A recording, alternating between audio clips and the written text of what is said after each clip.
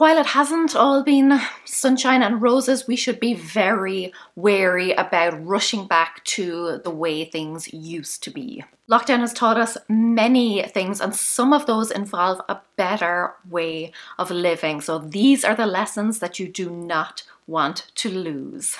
Let's go. Hi guys, it's Laura, and even though you might be returning to your pre pandemic, normal life, you know, maybe going back to work, actually putting on pants, leaving the house, there are some parts of the lockdown life that you should not leave behind. And one of the first is this idea that when we band together, when we all come together, we can really effect positive change, you know, when we all look out for each other, when we're all on the same page, when we're all working towards the same goal, we can have massive results. The more people who get on board, the quicker and the better the outcome. Now, I have a tendency of be being a bit of a lone wolf, uh, a bit of a control freak too, so sometimes I feel that I should be the one to do everything and you know I can do everything better than anyone else can do it. But that's just not true and that's what this lockdown has taught me. It's about community. It's about coming together. I have loved seeing um, people you know helping each other you know the power of the crowd and even from a distance but you know like sharing resources and supporting each other and just generally everyone coming together in a physically distanced way to help each other and to support this kind of greater cause and to uh, um, be involved in something that is bigger than ourselves, but something that is really, truly important. In our neighborhood, we have been sharing, you know, like magazines and jigsaw puzzles and, you know, offering to go, if we're going to the store, offering to get things for other people to save them having to leave the house things like that. And it has been really lovely, you know, having everyone come together and work towards this common goal. So that's a big lesson, I think. It's that we can all go further when we are together. We have also seen the benefit of kind of like quick, making quick decisions, being decisive and being proactive. Now, there's definitely something to be said for the old wait and see approach. And I've been trying to figure out, you know, what is the difference between waiting and just procrastinating? And I think it comes down to the outcome. So, waiting is when you are waiting and it will lead to a greater result. You are waiting because you need more information. You are waiting to be in a better position. Whereas procrastination, by putting things off, what you're actually doing is increasing the risk of something terrible happening, or you are increasing the effort or the downsides essentially. Let me give you a very basic kind of everyday example doing the dishes, like dirty dishes, if you put them off until tomorrow, you're not waiting to do the dishes. You are procrastinating because by leaving them until tomorrow, you are potentially creating a bigger, more horrible job for yourself because all the stains will have set, all the stuff will then smell. It will just be a less pleasant job. That is the difference between waiting and procrastinating. Procrastination means a problem grows. So that's what I have taken from this lockdown. It's that decisive action, you know, like a stitch in time and all that jazz. Then I think we have all kind of had a taste of something or we've all discovered something maybe about ourselves that we want to carry forward and we want to develop. So for this one, maybe I can give you a quick story. In the beginning of March, right before most of the world went on lockdown, I was in Palm Springs in California attending a conference and I went to a workshop that was all about Procreate, the app Procreate, and just like how to use it and drawing on it and stuff like that. Digital art, essentially. And I really, really enjoyed it. And then I had this ridiculous thought.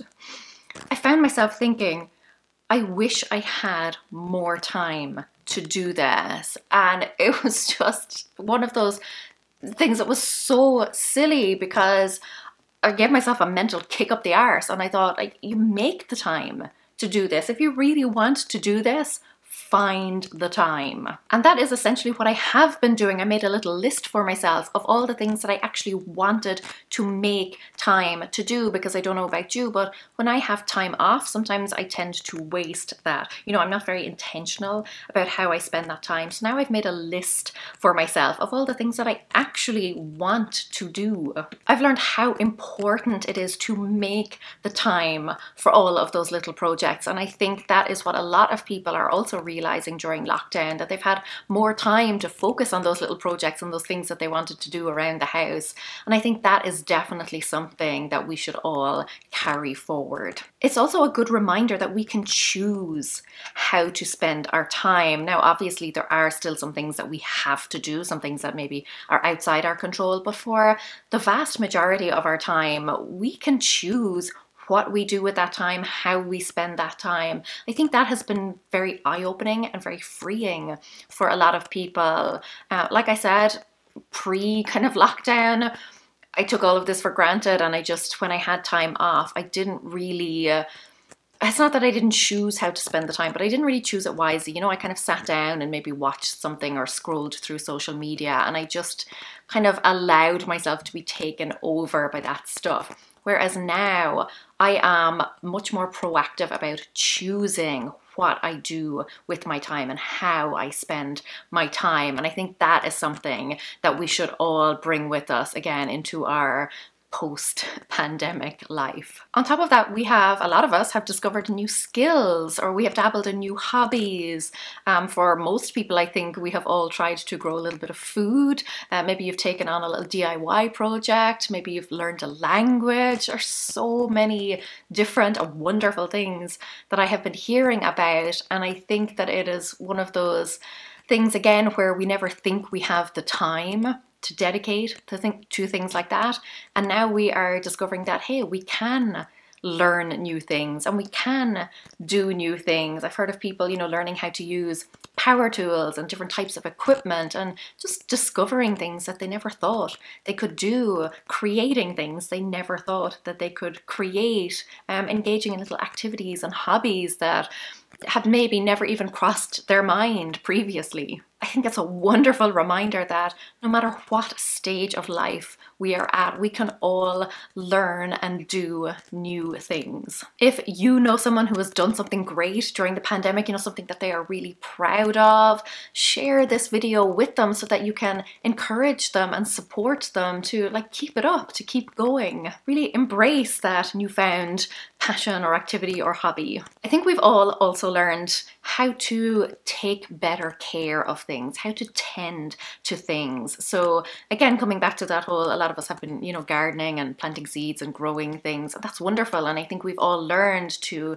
kind of pour our energy and our time and our love and our care into things like that, like plants and things. Um, but not just that, not just with flowers and plants and food, but also ourselves and our relationships when we haven't been able to, uh, you know, physically spend time with people, I think a lot of us are pouring more effort into our relationships and keeping them alive and into ourselves as well. A lot of us have been faced with very tough situations um, during the pandemic, and it's been a very difficult time to various different degrees for different people. But I think we're all turning inwards a little bit more and looking after ourselves a little bit more. That is something that we should definitely keep up, being more centered on ourselves, on our relationships, on, on the things that kind of matter to us, the things that are going to grow and blossom and flourish. Leading on from that, then, I think a lot of us are turning away from that kind of consumerist life. For a lot of us, myself included, because we are not out at the shops as often, we're not making those purchases. We're not just, you know, strolling around the stores on a weekend afternoon, picking things up that we don't really need. Certainly for me, I have noticed a huge difference in the amount of money that I'm spending. I know for some people, um, they went you know, a little bit overboard maybe on the online shopping because um, it was just kind of that gut reaction. But I think you know, coming out of it now, I think we're all learning that we don't need as much as we thought we did. I've seen a huge amount of people, you know, decluttering and things like that. But when we're not out shopping as a hobby, as a pastime, as a way to pass an afternoon, I think we've all learned now that we can make do with what we already have. So I really hope that that is something that we continue to do, that we turn away from that kind of, you know, fast fashion or like quick fix, um, just buy all the things mentality. It's also going to be much kinder to the planet, um, not just in that, but in other ways. You know, a lot of us now are growing our own food or, you know, little bits of our own food. I'm growing some potato plants and it's been wonderful to actually see them grow. Um, I can't wait to harvest them. But things like that, you know, turning back to nature.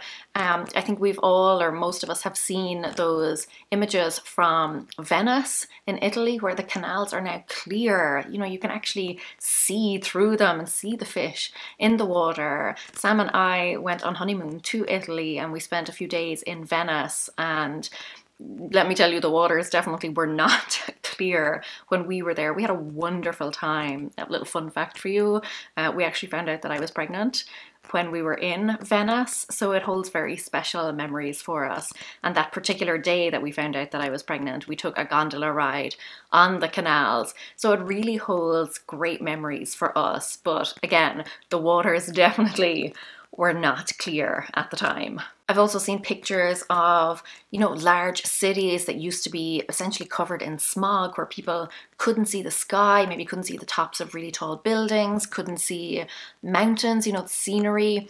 And now, for the first time in years, they can actually see those things. You know, the smog has lifted. People are talking about being able to hear birds sing for the first time in years. Maybe it's my imagination.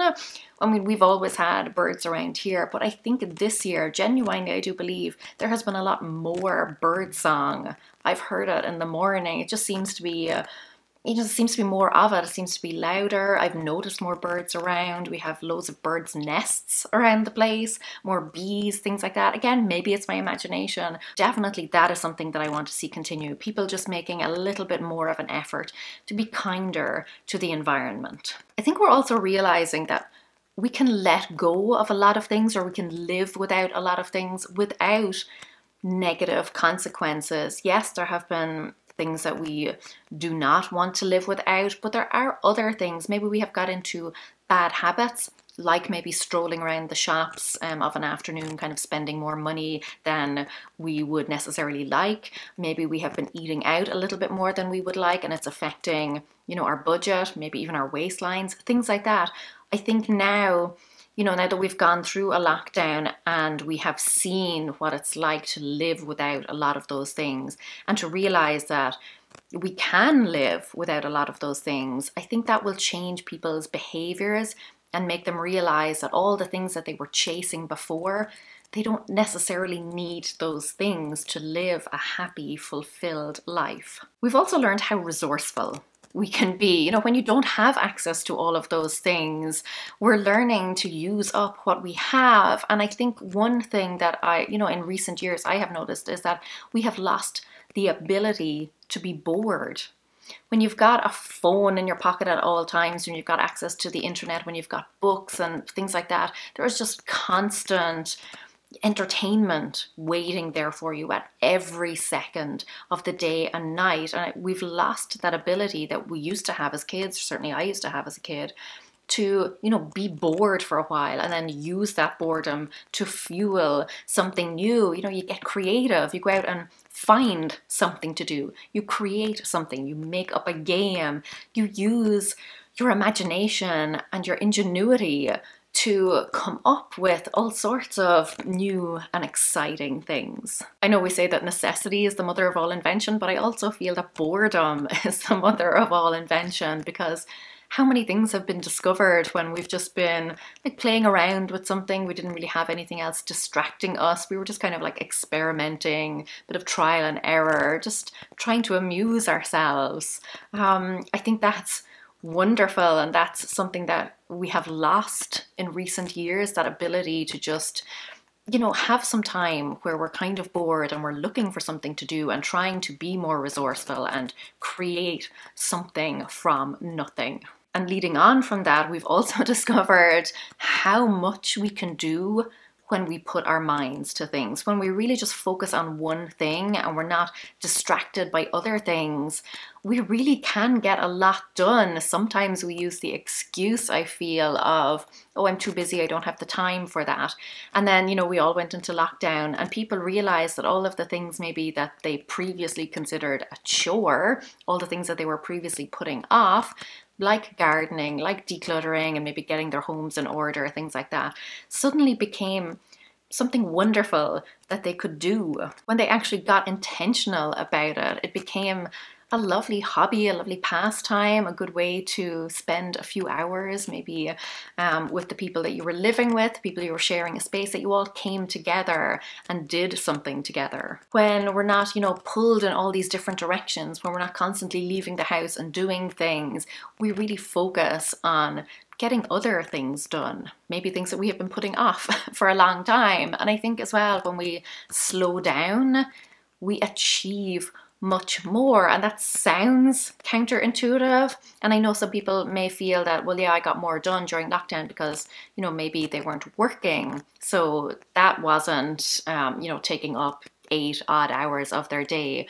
But I do still feel that for some people, what they got done during three ish months of lockdown, they probably hadn't achieved in the three ish years previously. So even though, yes, um, before lockdown, you may have had other things that were kind of, you know, taking up a large chunk of your time. I still feel that we were more intentional with our time during lockdown, and that is why a lot of us got so many projects and little things done because we weren't going to work all day and then coming home and maybe sitting in front of the TV as a way of just passing a few hours. We were actively looking for ways to spend our time and, um, you know, things that we could do, jobs that we could finish, tasks that we could tick off our list. So I do feel that that kind of slowing down, being more intentional, helped us to get more done and helped us to realize how much we can actually achieve when we do slow down and give something our focus and our attention. I think we are coming out of that idea of the rat race, which has been so prevalent um, in recent years that it's always just more, more, more like go, go, go. I personally, I had a bit of a light bulb moment um, in terms of the rat race years ago when I worked in retail. I was looking after a specific department in a store and it was the second busiest department in the store. So, you know, I was always on the go, keeping busy, always had something to do. And after a while of working there, you know, getting everything kind of like ship shape, they asked me to take over another department in the store. And that was fine. I did it, um, really enjoyed the job, loved the people that I worked with, got on really well with everyone, got on really well with my managers. Um, but now I was working essentially two jobs. And I should also mention that at the time I was also studying law. So it was an option to do it as an evening course. So I was working from 8 a.m. to 5 p.m.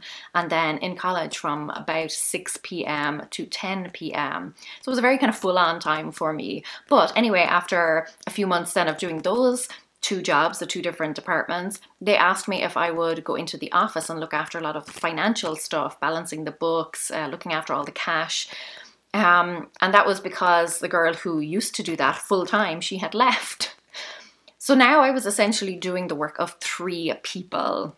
And I went in for a normal like performance review and like I said got on really well with my manager, sat down with him, he was saying, you know, that everything was great. They were really happy with my work.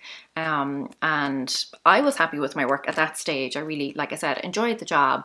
So I thought, okay, this is great. You know, this performance review went exactly how I thought it would go. But then just at the end, he said to me, as kind of one of those, you know, areas for improvement, that I should up the pace. that was the moment that I realized I was never going to up the pace for anyone. I was already working essentially the job of three people.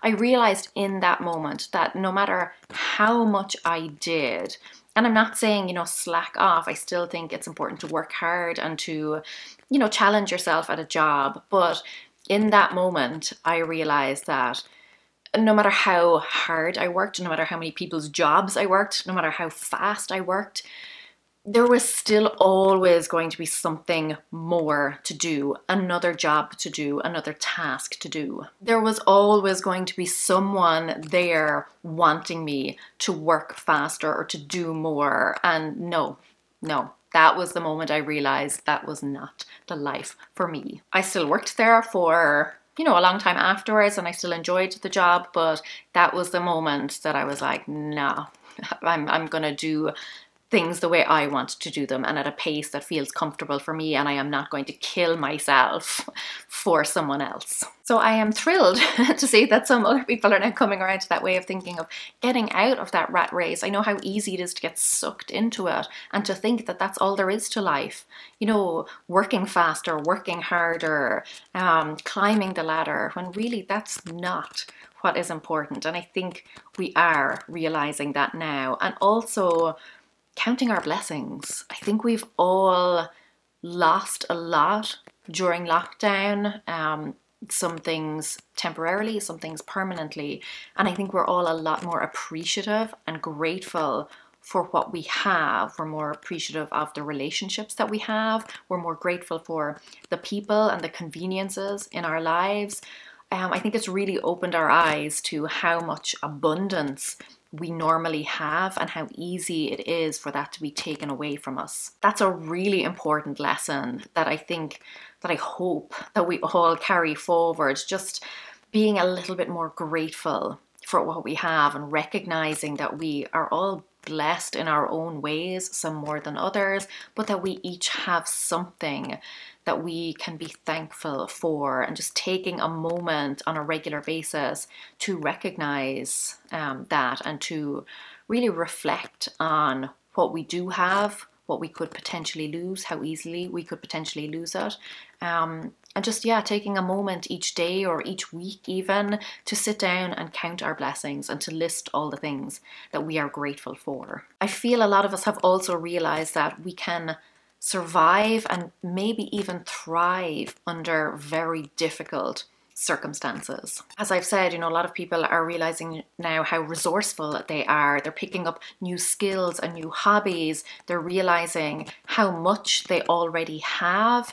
And I think that's wonderful. You know, we're we're much more creative now, I feel. A lot of people had to you know pivot in their businesses they had to figure out a new way of doing things maybe they had to take on like a side hustle or start something up, um, much more creative, coming up with new solutions and new ideas, maybe stretching their money a little bit further. I think we have all learned that even under tough, even in tough times, that we can still get by. You know, we are all still here. I think this pandemic, tough as it's been, has given us all glimpses of a better world, a slower paced life, a brighter future, and a sense that, you know, we can do uh, lots of things, particularly when we all come together, when we all work together. We have an idea now, we see how things could be. Because if we can do all of those great things when times are tough, imagine